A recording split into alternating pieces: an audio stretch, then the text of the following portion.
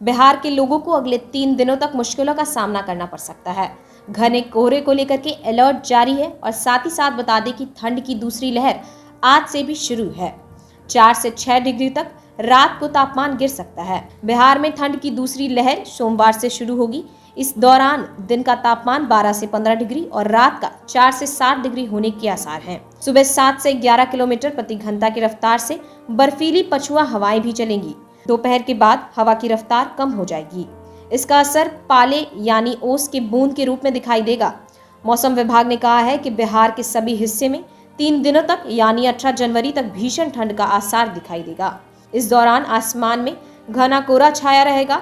इसका असर नदी, तालाब और खुले स्थानों पर पूरे दिन और आबादी वाले क्षेत्रों में सुबह तक दिखाई देगा।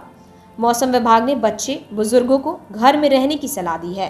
इसी के साथ ही ठंड से बचाव के लिए ज़रूरी उपाय करने के भी कहा गया है मौसम विभाग के मुताबिक बिहार के सभी हिस्से में मौसम शुष्क होने के साथ ही साढ़े पाँच किलोमीटर ऊपर तक पछुआ और उत्तर पछुआ हवाओं का प्रभाव है इसके साथ ही आर्कटिका की ठंडी हवाएँ देश के उत्तर हिस्से में प्रवेश कर रही हैं। इसके कारण मैदानी हिस्से में स्थित पंजाब, हरियाणा, चंडीगढ़, उत्तर प्रदेश, बिहार, झारखंड से मध्य हिस्सों में कड़ाके की ठंड असर दिखाई दे रहा है। रविवार को बिहार के सभी हिस्सों में सुबह 11 से 13 किलोमीटर प्रति घंटा की रफ्तार से ठंडी हवाएँ चल रही थी। इसकी वजह से दिनों में दो बजे तक तापमान सामान्य से नीचे दर्ज किया गया। इसी दौरान कनकनी का प्रभाव रहा, हालाँकि दोपहर के बाद हवा की रफ्तार सुस्त होने के साथ ही धूप निकलने से राहत रही।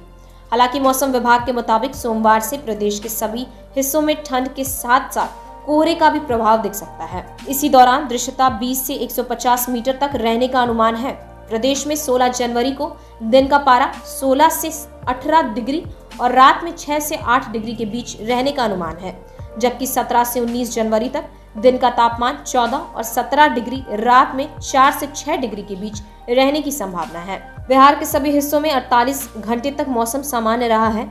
इस दौरान अधिकतम तापमान 16 से 27 डिग्री तक चढ़ गया था और रात में तापमान 13 डिग्री तक रिकॉर्ड किया गया है। इसी की वजह से ठंड से राहत रही है। इसके बाद रविवार को सुबह दिन की शुरुआत धुंध और तेज़ी हवाओं के साथ हुई। तापमान में 7 डिग्री तक गिरावट आई। ओस में वातावरण में स्थित पानी की छोटी छोटी बूंदें धूल के कणों के साथ ज़मीन पर गिरेंगे। हिमालय के टहलती क्षेत्रों में पाला पड़ने के आसार हैं। पाला से पेड़ पौधे पर सफ़ेद चादर की हल्की परत फैली रहती है। तो आपको एक बार फिर बता दें 16 जनवरी से बिहार में दिन का तापमान 16 से 18 डिग्री के बीच रहने का अनुमान बताया गया है। साथ ही साथ ठंड की जो दूसरी लहर है, वो आज से शुरू है। उसके साथ बहत्तर घंटों तक भीषण ठंड का भी असर होगा और घने कोहरे को लेकर के अलर्ट जारी किया गया है। ऐसे तमाम अपडेट्स के लिए जुड़े रहिए हमारे साथ। अगर आपने हमें यूट्यूब चैनल पर सब्सक्राइब नहीं किया तो आज ही करें। साथ ही साथ हमारे फेसबुक पेज को फॉलो और शेयर करना ना भूलें। धन्यवाद।